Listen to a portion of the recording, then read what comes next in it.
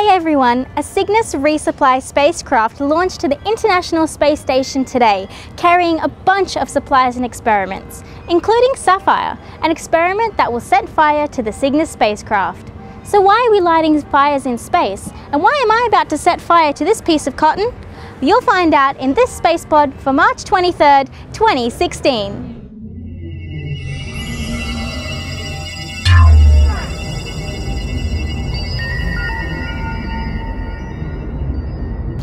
Spacecraft launched at 5 minutes past 3 Coordinated Universal Time and is designated Orbital ATK-6 or OA-6. Confusingly, Orbital ATK-5 is scheduled to launch after this one, around the end of May. This Cygnus spacecraft is carrying 3,513 kilograms of cargo. It will berth to the space station where it will be unpacked and refilled with trash ready to deorbit and dispose of the trash by burning up in the atmosphere. In between unberthing and deorbiting, however, a nifty experiment is going to be completed and that's where Saffire comes in. Saffire, or Spacecraft Fire Experiment 1, will set fire to a piece of material roughly 100 centimeters by 40 centimeters long, creating the largest experimental fire ever in microgravity. This experiment will measure oxygen, carbon dioxide, pressure and temperature as the fire spreads and will record the whole thing with two high-definition video cameras. Saffire will be burning a blend of cotton and fiberglass. Fiberglass adds strength to the cotton and keeps it steady so that the cameras can get the best view of the burning.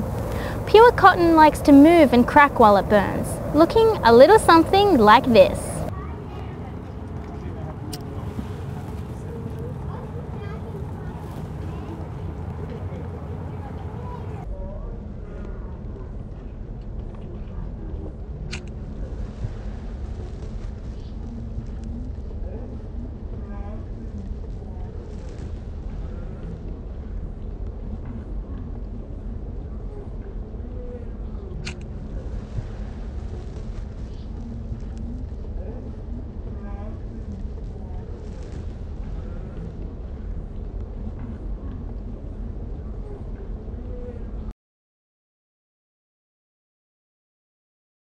Saffire allows us to conduct realistic fire experiments that are simply too risky to be performed on crewed vehicles like the International Space Station.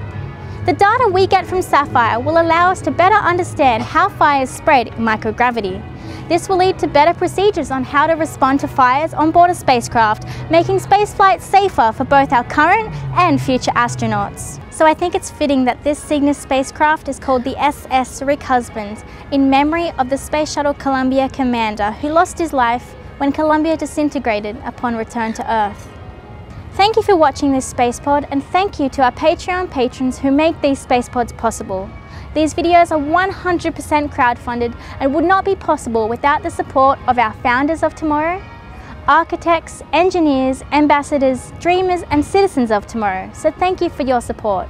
For more information on our crowdfunding and to look at our reward levels, head over to patreon.com slash spacepod. For my next videos, I'd like to cover some more of the experiments that the Cygnus spacecraft has delivered to the space station. So leave a comment below or let me know via social media if there's any experiments you want me to cover. And don't forget to subscribe to our YouTube channel at youtube.com slash TMRO in case my next spacepod is about the experiment that you've chosen. My name is Lisa Stojanovski and until next time, keep on discovering.